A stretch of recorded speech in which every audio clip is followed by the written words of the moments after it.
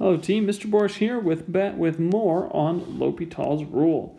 Okay, so we're going to go ahead now. I want you to try this problem on your own. Take the limit x goes to 0 of e to the x minus x minus 1 over cosine x minus 1. Go ahead and just take 30 seconds, pause the video, uh, and try this problem using what you've done. Okay, so uh, first off, you did the top, you did the bottom, hopefully, obviously. So you use L'Hopital's rule, right? Where we're a good little boy, we see our or girl. We take a look at the fraction. Limit x goes 0 of e to the x minus x minus 1. You get e to 0 minus 1, which is 0. On the bottom, you take the limit x goes to 0, and you get uh, cosine 0 minus 1, which is also 0. Great. And then you went ahead and used L'Hopital's rule.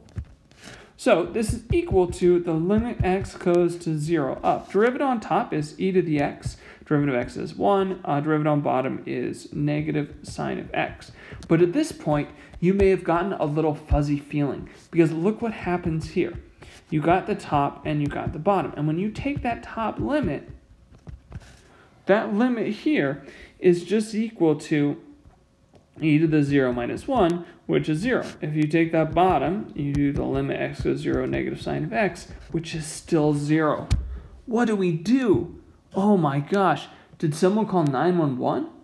Because I think we have to go to L'Hopital again. OMG, very exciting. So we're going to do L'Hopital's rule a second time on this little dude right here. Okay, so as we do that, uh, we're going to get into, okay, so the derivative on top uh, is going to be, of course, is e to the x minus 0.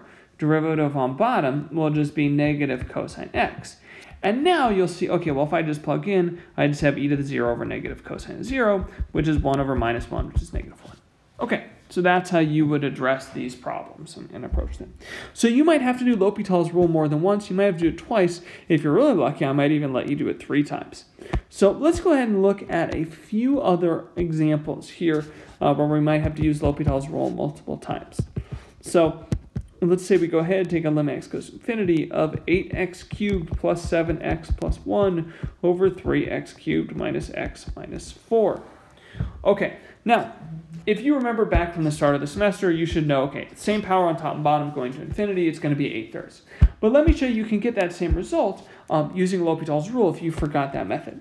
So you can just say, okay, if we take a limit there, x goes to infinity, of 8x cubed plus 7x plus 1, it should be abundantly obvious that's infinite. And the same with the bottom, right? You got a 3x cubed minus x minus 4. Obviously, infinity cubed is bigger than infinity is infinity. Okay, so you do L'Hopital's rule. So that's the limit x goes to infinity. On top, you have 24x squared plus 7. On bottom, you have a 9x squared minus 1. So here again, when you take a limit as of, of, the top and the bottom, when you take the limit as x goes to infinity of 24x squared plus 7, that's clearly infinity. When you take a limit on the bottom of 9x squared minus 1, also infinity minus 1, still infinity. Okay, so when you do L'Hopital's rule again, now we see we get a limit x goes to infinity of 48x uh, divided by 18x. So the x's cancel, you just get 48 over 18, so that's like 24 over 9. Take out a 3, which is 8 thirds. So Obviously, this is more work to use L'Hopital's rule in this case, but it does give the answer we would expect.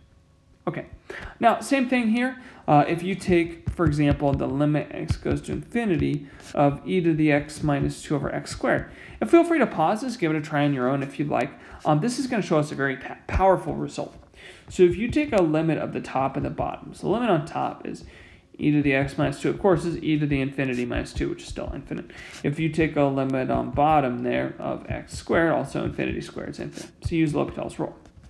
So when you end up here, you've got a limit x goes to infinity um, of e to the x over 2x.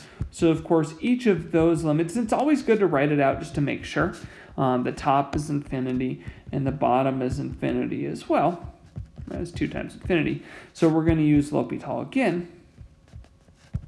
So this will give us the limit x goes infinity of e to the x over 2, which is infinity over 2, which is still infinite.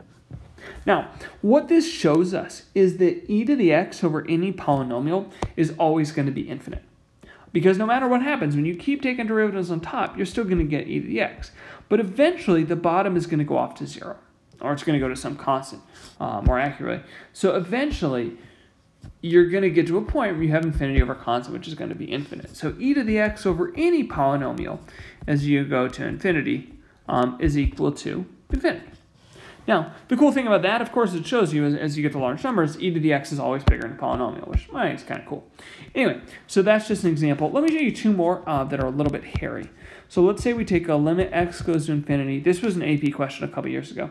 Of natural log of x cubed plus 4 divided by 2x. Okay, so we do the top, we do the bottom. The top here, we take a limit x goes to infinity of natural log of x cubed plus 4. So we're going to get ln of infinity, which is infinite. Um, right, e to the infinite power is still infinity, so that's how that works. On the bottom, if you take a limit x goes to infinity of 2x, you're just going to get 2 times infinity, which is, of course, still infinity. Now, L'Hopital's rule is going to work out kind of interesting here. So we checked, again, you're always checking the top and the bottom to make sure you can use L'Hopital. When we do L'Hopital's rule, uh, we're going to get limit x goes to infinity up. Okay, so we got to use the, uh, the chain rule on top. So derivative of ln is 1 over x cubed plus 4 times derivative on top, which is 3x squared. So we're just doing chain rule, the derivative at the bottom, divided by the derivative of 2x, which is 2. So what I would tell you now is try and simplify this first. So turn this into a limit x goes to infinity of 3x squared over x cubed plus 4 over 2, which is the same as just putting the 2 on bottom, right? You could put the 2 over 1 and then flip it if you want, but it's just a limit x goes to infinity of 3x squared over 2 times x cubed plus 4 uh, also known, of course, as 3x squared over 2x cubed plus 8. Now, if you look at that polynomial polynomial, it's got to be a 0 with bigger power on bottom. That's fine. But you could also use L'Hopital here, right? So if you take a limit x goes to infinity of 3x squared, that's infinity. If you take a limit x goes to infinity of 2x cubed plus 8, of course, that's also infinity. So you'll L'Hopital this bad boy. So this is going to be a limit x goes to infinity of 6x, taking the derivative of this, 6x over 6x squared. Um, so the anyway, the 6 is canceled, the x is canceled, it's just 1 over x, which is 0. Okay, so that one worked out to be 0 in this case with the natural log. Just make sure that you try and like combine the fractions into 1. Um, that just makes your life easier on this type of problem. Okay, well, I hear people saying, Borish, derivatives and limits together, incredibly fun. What if we could bring limits, derivatives, and integrals together into one problem? Terrific. That would really make this trip to the hospital worth it. So let's find the limit as x goes to 1 of integral 1 to x of square root of t squared plus 3 dt. Okay. So let's go ahead and do this. So, so again, you see a limit, and, and this kind of problem should really set off some kind of alarm bell in your head, really. Uh, we have a weird limit, so let's just start by doing the top and the bottom separately. So we take a limit x goes to 1 of integral 1 to x of rad t squared plus 3. Now, when you take a limit x goes to 1, you just plug in the x is 1, nothing with the t, so this just becomes integral 1 to 1 of root t squared plus 3.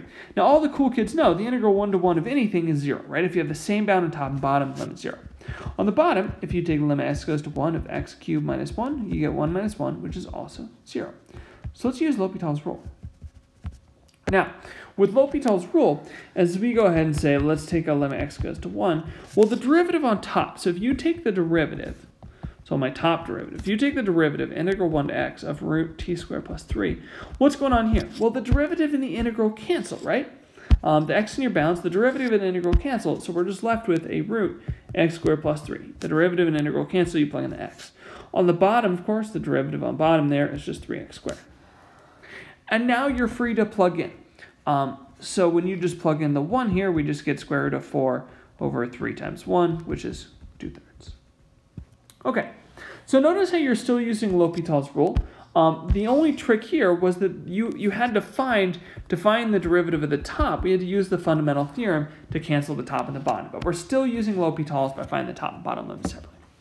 Okay, um, so that's our good friend L'Hopital. I hope you guys have enjoyed this lesson. I think it's a pretty cool trick, uh, and I'll see you guys in class. Thanks.